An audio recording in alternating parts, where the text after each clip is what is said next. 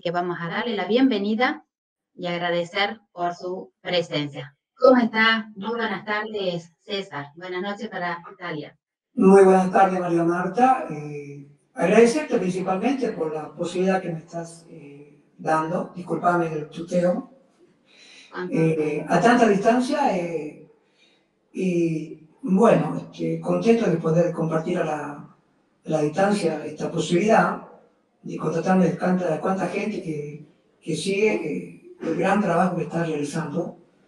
Y, y, bueno, tengo que precisar que más allá que usted sea María Marta, también es mi profesora en el curso de técnico de tercer año de ALFA, que están organizando en Catamarca, donde yo estoy participando este año.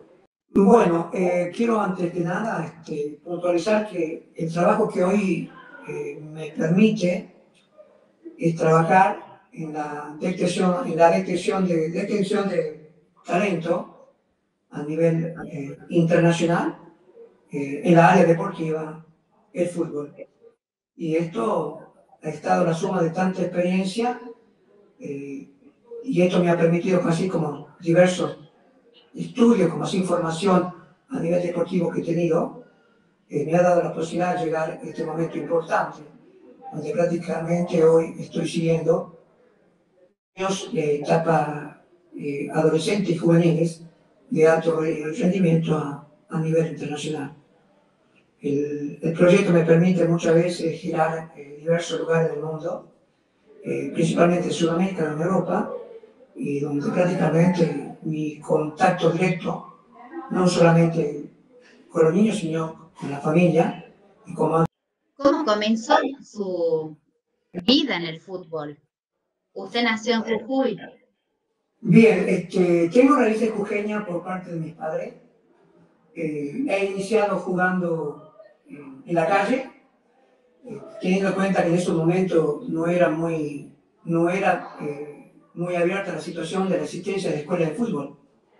Prácticamente estaban o los clubes y, o los chicos que jugaban en el potrero. Y bueno, yo me crecí allí, en la calle, jugando, eh, a 200 metros de la cancha del Club Gimnasia de Grima de Jujuy, que hoy es un equipo que, que está militando en la Serie Nacional. Y bueno, eso me ha dado la posibilidad principalmente de poder crecer como, como todo niño. Y, y bueno, eh, había notado que en el barrio se corría la voz que, que, jugaba bien, así que era invitado a todos los torneos, campeonatos y partidos que había que hacer. Así que, y, y otra, este, yo crecí en una familia muy grande a través de mi, dos hermanos de mi papá o de hermanos de mi mamá, así que éramos muchos primos a la cuales siempre jugar todos los días al fútbol y más en el periodo, en el periodo de vacaciones.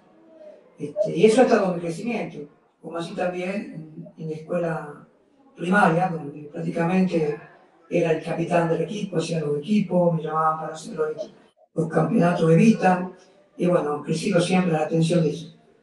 Y esto me ha dado este, la posibilidad después de hacer un cambio de 360 grados, ¿por qué? Porque prácticamente a 10 años me trasladé a Catamarca. Y allí en Catamarca inició otro tipo de, de, de, vida, principalmente porque dejé de vivir en la periferia para vivir en el centro de la ciudad. Y eso me permitió principalmente entrar en, otro tipo de, de crecimiento. Y, bueno, estos cambios produjo a mí tanta, tanta dificultad. Este, eh, me incursioné participando en la escuela Quintana, y ahí en la escuela Quintana había un pibe que me había visto jugar y me invitó a la escuela de fútbol. En Jujuy no había escuela de fútbol, en Catamarca sí. Y ahí comencé a incursionar en la escuela de fútbol. Prácticamente allí inicié mis primeros pasos. Sí, sí, sí. Me gustaría que usted me acompañe a disfrutar de estos momentos. Después vamos a hablar acerca de esto, ¿le parece? Bien, bien, bien.